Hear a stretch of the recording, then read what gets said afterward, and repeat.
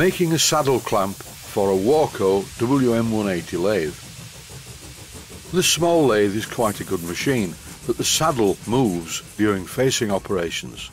What is needed is a saddle clamp lever. This short video shows how I made one, and just like me, it is very simple but works well. Here is the lathe in the workshop that is built onto my kitchen. I don't have room for a cabinet stand and besides I didn't get one with the lathe anyway, so it sits on a kitchen worktop. But you will notice it is also sitting on some thick foam kneeling pads. As per usual, I have received quite a lot of comments saying, is the lathe not bolted down? How can it possibly work sitting on foam pads? I don't answer most of these questions. It's obvious it's sitting on foam pads. I made a video about it. These foam pads are very heavy duty. They are garden kneeling pads.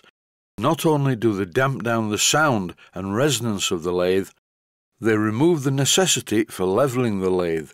They are auto-levelling. I also received quite a few comments about this thing. This is a tool post a Chinese tool post made from aluminium, and it was £38. I bought it just out of curiosity because I thought, well, I'll waste £38 if it's rubbish, I'll throw it in the bin. I used a different metric mounting bolt just because I didn't like the look of the standard Allen bolt. I also packed the mechanism with lithium grease to stop it wearing out prematurely. It's worth remembering that Chinese stainless steel seems to be nothing like any other kind of stainless steel I've ever seen, and this aluminium seems to be very hard stuff, quite different to any aluminium I've ever seen before. That's enough of that, it's time to make the saddle clamp. Here it is, clamped in my vise. And yes, it is a metric Allen key with a damaged end, perfect for conversion into the saddle clamp. All I need to do is shorten the end which is damaged anyway by using an angle grinder, if only I could find my angle grinder. I started to search for it in the workshop, but I couldn't find it. In the end, I thought, well, it's going to be quicker doing it a different way. In the outer part of the workshop, amongst other things, is a very small grinder. And I'm using this to grind around the Allen key to shorten it. I put quite a lot of this sequence in the video because I found it very pretty. I thought that the glow of the sparks coming off the metal lit up the grinder quite well. I don't use the grinding wheel at this side very much at all, it's a standard grinding wheel. I use the other side which has a green grit wheel and I use this for sharpening carbide tip tools. Not the replaceable type, I mean carbide tip tools where the carbide is sort of brazed onto the tool. This took quite a long time. You will notice I'm not wearing gloves. As I'm grinding the Allen key, it's not getting particularly hot and when it does, I dip it in some water right next to the grinder. As I ground all the way around the Allen key, eventually it was weak enough to snap off with a pair of pliers. In this clip, I'm just grinding it flat.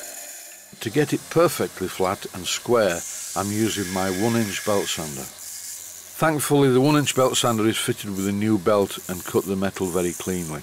After finally removing the sharp edges, I push the Allen key into the bolt. And here it is on the bench, more or less finished. There's not a lot more I can do at it. The problem is, this is just a chopped down Allen key, and I'm sure I will lose it, just like I did with the angle grinder. So I need to put something on it to make it look like a specialist tool rather than a cut down Allen key. At first I went for this piece of blue silicone rubber tubing. It sort of looks okay and it makes the Allen key very visible, but the colours don't match. In this clip you can see the principle of operation. When I pull the Allen key towards me, it clamps the saddle to the bed. When I move it away, it releases it. Time for a test. I'm machining a piece of steel here, and the good news is the saddle is not moving. Normally, when I machine a piece of steel like this, the tool gets dragged into the work and leaves rings. But now, the only rings that I get are when I turn the hand wheel too fast.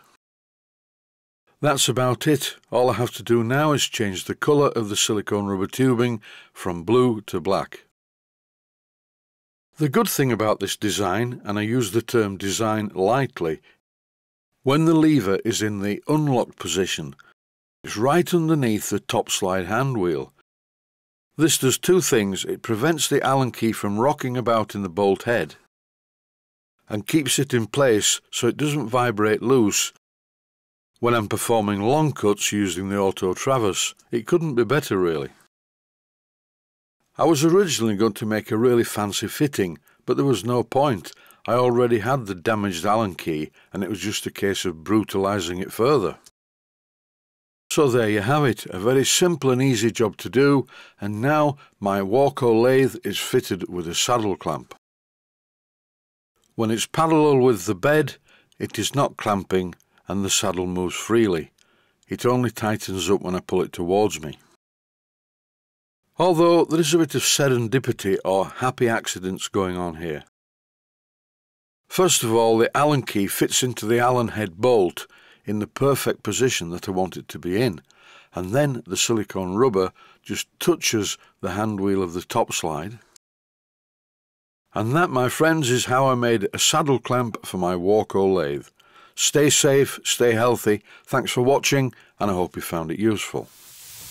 Please take the time to visit my Mainsteam Models website and click on the section of the website that says Video Playlists and by doing that you can find other videos that you may like to watch. And by using the playlists you can actually watch the videos back to back.